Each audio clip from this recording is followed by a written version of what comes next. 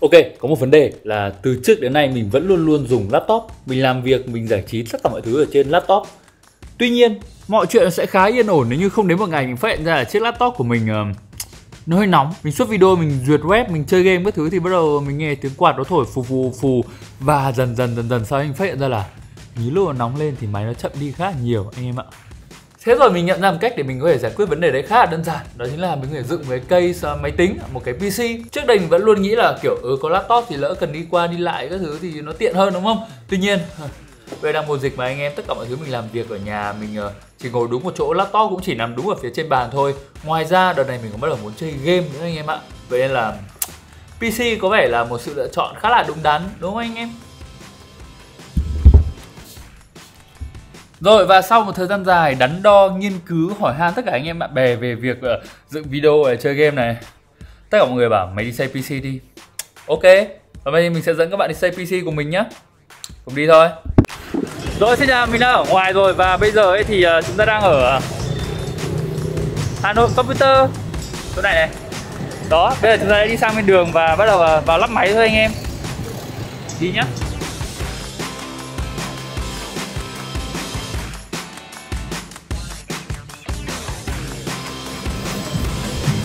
Đi thôi.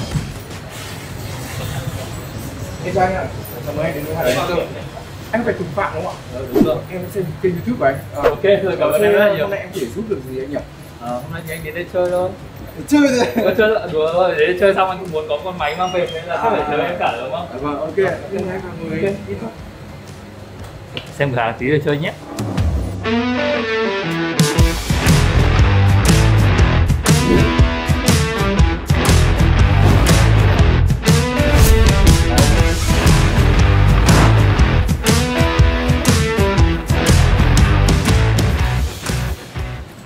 Rồi và bây giờ chúng ta sẽ đi vào bước chọn máy. Hôm nay sẽ có Hoàng đẹp trai. Vừa đeo khẩu trang vẫn biết là đẹp trai. Ờ, Hôm nay Hoàng sẽ giúp mình chọn các bộ phận cho chiếc máy của mình. Xem thử hôm chúng ta tiêu bao tiền anh em nhé. Rồi bắt đầu. À, Bây giờ thì bây giờ cho em hỏi nhá là số tiền anh muốn tiêu trên bộ máy tính này là bao nhiêu? À, khoảng dưới 1 tỷ em ạ. Dưới 1 tỷ? Dưới 1 tỷ luôn? Chính xác là khoảng 80 90 triệu thôi. 80 triệu rồi ok anh. Ok. Rồi thế bây giờ mục tiêu, mục đích mà sử dụng chính của cái máy này là gì? anh sẽ dựng video này chỉnh ảnh này. Chơi game này anh chơi game chơi game thôi mà. À chơi game này à. à. Thế anh chỉnh video ở độ phân giải bao nhiêu anh nhỉ? Anh chỉnh thì uh, sẽ có kiểu như là thỉnh thoảng lên đến 8k nhưng mà bình thường sẽ là khoảng 4k thôi. Là 8k à nếu mà 4k là cái uh, bình thường của anh thì em nghĩ rằng là đây uh, bây giờ nhá build một PC đúng không thì à, chúng ta sẽ okay. cần này CPU này okay. cần RAM này cần mainboard này okay. card màn hình cái game mà card màn hình mà đó đúng rồi. rồi có cả ổ cứng này với cả okay. nguồn nữa rất nhiều những phụ kiện khác rồi, bây giờ okay. chúng ta bắt đầu bằng CPU nhá tại vì yeah. anh biết rồi CPU rất là quan trọng trong việc mà edit video chỉnh ảnh mà thì okay. uh, anh khuyên rằng là anh nên chỉnh nên sử dụng là cả uh, CPU AMD Ryzen 7 5800X đó đây là một uh, CPU của cấu trúc Gen 3 mới nhất của AMD này sử dụng trên tiến trình CSC 7 nanomet này. và vào nhân nhân là 8 này. sử dụng 16 này. đó xung nhịp. là 3 đây là 4,7 GHz bình tĩnh bình tĩnh anh nghĩ là anh không hiểu gì hết đâu. Các bạn xem video chắc cũng sẽ không hiểu gì hết. Thế là em có thể giới thiệu cho anh ngắn gọn là cái này nó mạnh thế nào à. và nó phù hợp với phần mềm của anh thế nào không được không rồi AMD Ryzen 7 5800X Rồi 5800X Đấy thì cái chính quan tâm nhất là 8 x 16 luôn. Ok. Nhưng mà do là bây giờ Adobe nó rất là hỗ trợ về Adobe, uh, về AMD rồi okay. nên là hiệu năng nó rất là cao. Thì anh có thể thấy ở đây. Đó Nó ngồi ngay ở chẫn trệ xung quanh những cái uh, CPU rất là khỏe này cơ mà. Đó. Em ạ bán hàng nhưng mà biết luôn là bật xem là card chip dùng uh, phần mềm như thế nào để thích thuyết phục khách hàng đó. Đây gọi là không tiêu tiền không được. Đấy là rất phù hợp cho với Premiere hoặc là Photoshop anh sử dụng. Ok. Đó. Uh, tiếp theo chúng ta sẽ có RAM đi được không anh? Bây giờ anh em cho anh một cái 32 GB RAM luôn. 32 GB luôn thoải mái luôn. Ok. Đấy 32 GB và cái chip này rất là thích tốc độ RAM cao nên là em chọn cho anh cái RAM cực kỳ cao luôn tận 3600 boost boost 3600 luôn. Rất okay. là thoải mái để cho anh sử dụng. Ờ nhưng mà từ từ nhá. Anh muốn ý là cái case máy tính của anh anh người trung tình em anh à. chỉ muốn dùng của một hãng thôi em giới thiệu cho anh của hãng nào mà tức là tất cả mọi thứ ở trong cái máy tính nó của một hãng thôi à ừ.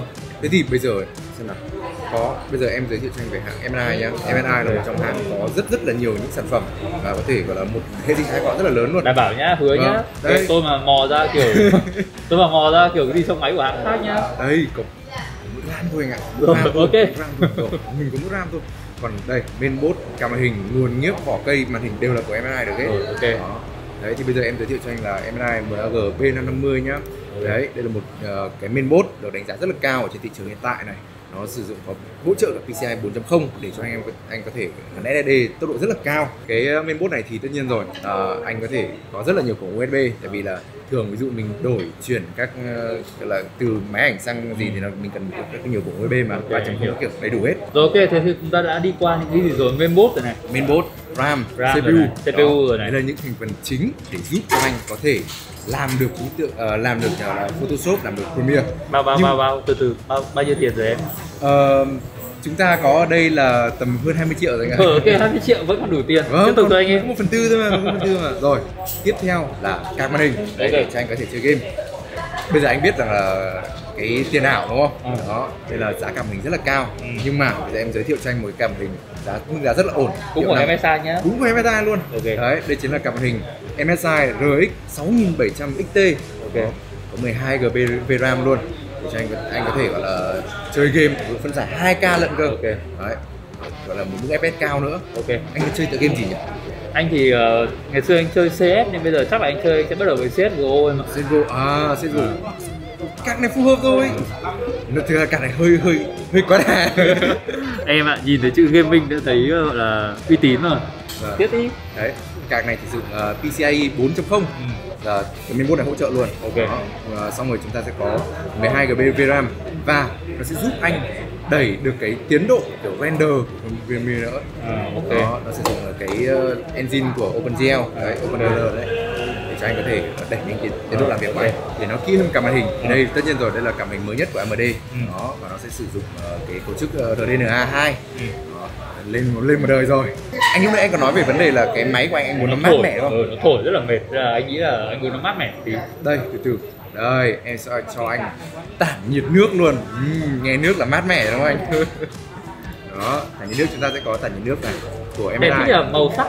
Ờ, MSI MAG Core Liquid 360R tức là sẽ có 3 quạt lận ok. để cho CPU anh có thể chạy một cách tối đa mà vẫn mất mượt mà vô cùng. Ok cho anh hỏi ngu một tí nhá. Ờ, lỡ nước nó chảy ra máy có hỏng máy không anh em? Lỡ nước có chảy ra máy không em? Cái nước này nhá MSI người ta đã nghiên cứu để thế nào mà cho nước này không thể nào mà chảy ra được. Ok. Rồi anh nghe thấy là được rồi. Chúng ta đi tiếp. Rồi nói chung là có cái đấy là sẽ mát mẻ thôi. Sau đây chúng ta sẽ có đó chính là ổ cứng đi. Ừ. có vẻ như là anh làm ở 4K đúng không? Đúng rồi anh làm video thì cái 4K. việc rất quan trọng là cũng phải phải nhanh đây nhá. Ổ cứng nhanh nhưng mà còn phải nhiều đâu anh 4K này em biết là như là nó có cái dung lượng file rất là lớn mà đúng không? Tốn tiền tốn tiền. Thế thì bây giờ em giới thiệu cho anh một sản phẩm mới vô cùng của MSI luôn. Ok. đấy, đây chính là đây. Ui, em có ngay đây luôn. À, đây chính là ổ cứng SSD PCIe 4.0 NVMe đấy Spatium M480 đây là sản phẩm rất là mới hiện tại nhá. Không có một cửa hàng nào trên Hà Nội là có luôn. Và tốc độ đọc của nó lên tới là 7000 MB trên giây ok à, và đây là ổ cứng 2 TB ok đó. Thế thì chúng ta đã có ổ cứng rồi này, chúng ta đã có gì đâu. À. Nhưng mà em biết rằng là một người làm ảnh, làm video nhanh rất quan trọng về một thứ chính là màn hình đúng không ạ? ok đúng Rồi màn hình. Đấy, bây giờ thì em sẽ chọn cho anh một cái màn hình cực kỳ là đẹp. ok Đây là một màn hình rất là mới đến từ MSI. Đó, đây chính là màn hình Creator PS321. Cái màn hình này thì có độ phân giải là 2K cơ. Đó, và nó sẽ chạy ở trong 165 Hz. Đó.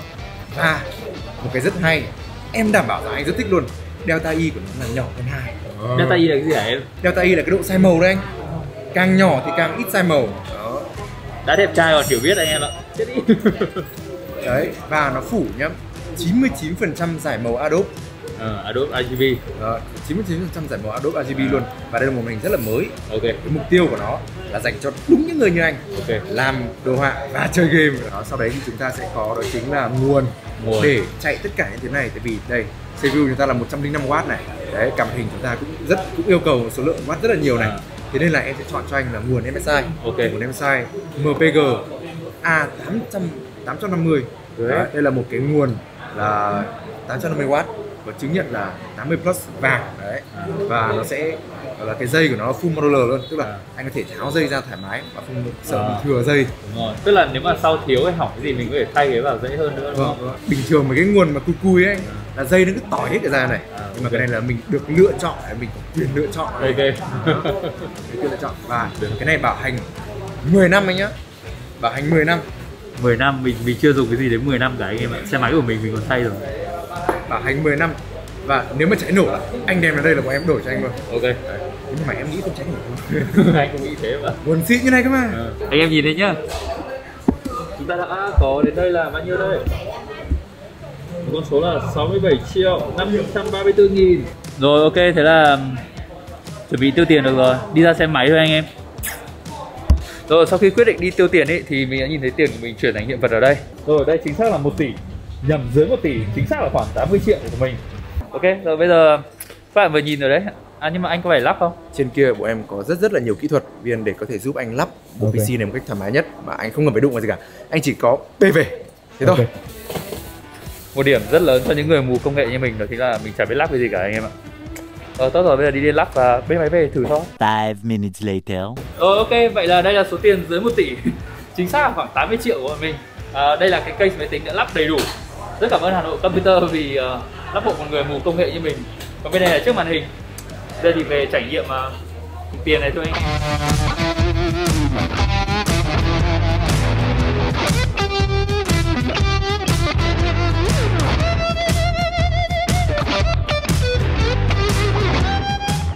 ok cảm ơn hòa giúp anh tiêu tiền ờ, cảm ơn anh nhiều đi về xem tiền tiêu có xứng đáng không anh em 3000 years later rồi, xin chào anh em. Vậy là cuối cùng mình cũng đã mang được bộ máy tính ờ, 1 tỷ, nhầm, dưới 1 tỷ. Chính xác là khoảng 80 90 triệu của mình về đến đây và sau một tuần rồi, sau một tuần test máy thì sau đây là vài lời nhận xét của mình nhé. Thì đầu tiên là với Lightroom, ờ, phần mềm này nếu anh em biết thì nó khá là nhẹ nhưng không hiểu sao nó cũng khá là lag. Thì ờ, ở trên Lightroom mình dùng ở trên bộ máy tính này thì không có vấn đề gì hết. Uh, mọi thao tác ví dụ như là bấm sang cái ảnh tiếp theo, bấm lùi lại cái ảnh trước, uh, ảnh nó đều hiện ra luôn, nó không bị gọi là giật lát nó không đợi một lúc nó lốt ra. Thêm mấy nữa là khi mình uh, chỉnh sửa các thông số ở trong Lightroom ấy thì mọi thông số mình chỉnh sửa nó cũng hiện ra luôn, review rất là ok. Em nào làm việc lâu với Lightroom ý, thì sẽ biết được là làm lâu quá thì ờ, máy nó nóng lên và kiểu xuất ảnh ra sẽ chậm đúng không? Nhưng mà không ở đây mình xuất đến 200 cái ảnh một lúc máy làm việc vẫn hoàn toàn ok.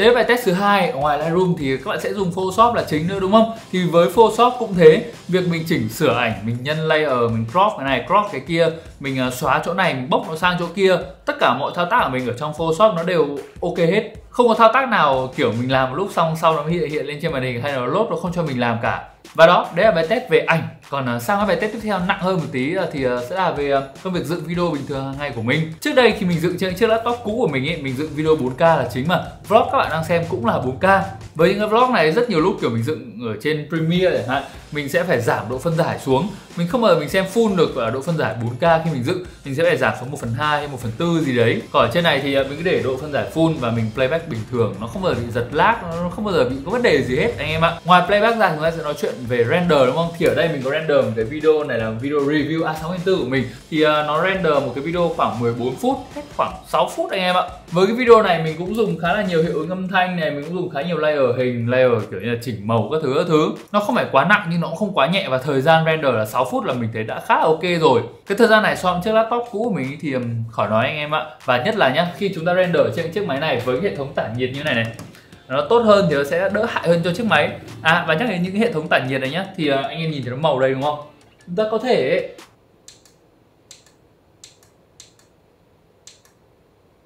Blackpink luôn. Anh em thích màu gì như nó cũng ra màu đấy cả, anh em ạ. Đó. Xịn đúng không?